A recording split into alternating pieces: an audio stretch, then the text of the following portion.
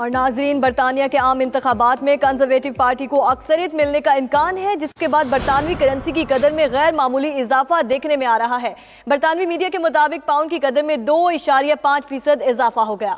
जबकि डॉलर के मुकाबले में पाउंड की कदर एक इशारिया तीन पाँच एक सोलह फ़ीसद हो गई है, जो मई दो हज़ार अठारह के बाद सबसे ज़्यादा है। आपको बता रहे हैं, बरतानवी इंतबात के बारे बाद में करेंसी की जो वक़्त है, उसमें भी तब्दीली सामने आ रही है और बरतानिया के आम इंतबात में कंजर्वेटिव पार्टी को अक्सरियत मिलने का इम्कान है और बरतानवी करेंसी की कदर में गैर मामूली इजाफा देखने में आ रहा है। बरतानवी मीडिया के मुताबिक पाउंड की कदर में दो इशारिया पाँच फ़ीसद इजाफा हो गया, जबकि डॉलर के मुकाबले में पाउंड की कदर एक इशारिया तीन पाँच एक छः फ़ीसद हो गई है, जो मई दो हज़ार अठारह के बाद सबसे ज़्यादा है।